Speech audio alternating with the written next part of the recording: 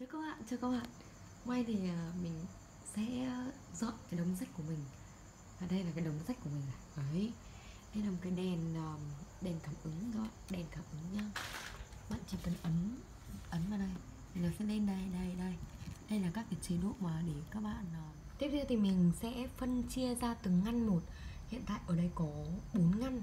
Thì mình sẽ chia ra là một cuốn ờ, sách đọc hàng ngày cuốn sách um, để um, giải trí cuốn sách um, học ở trên trường và các cái, cái uh, cuốn khác như là tài liệu tham khảo để cho mọi người đọc thêm. Mình uh, hay uh, cho mọi người đọc uh, kiểu các bạn hay mượn sách ấy. Mình mình mình có nhiều sách thì mình rất thoải mái mình cho mượn là hay lắm rồi. Thì các anh chị cũng cung cấp sách nữa. Nhiều lắm. Ngoài ra thì đọc thêm cả các cái về chính trị ra. Đùa rồi. Đây là môn học của bọn mình. Học vất vả lắm ý. thề luôn. Yeah bắt đầu xem nhá. Mình có bốn bốn ngăn. Thì mình sẽ xếp và tí nữa mình sẽ review cái hình ảnh đấy cho các bạn xem. Để các bạn biết cách xếp. Nhìn nhiều sách cái này mà.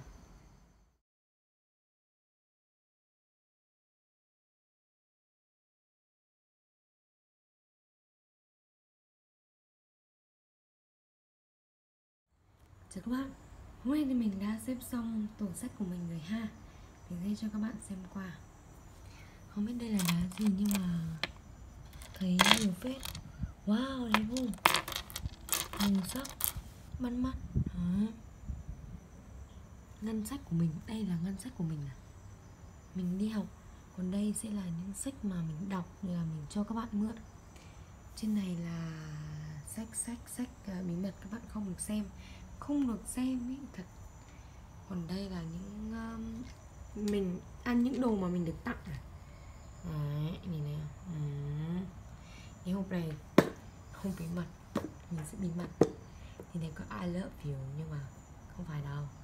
Bên này là đấy, bên này là anh mình đi uh, Sapa đi Mộc Châu tặng mình đòi quà mà. Đó. Đẹp lắm luôn hôi ha bye bye. Xong khi mình xếp xong thì mình sẽ đi vào giường ngủ. Mình đây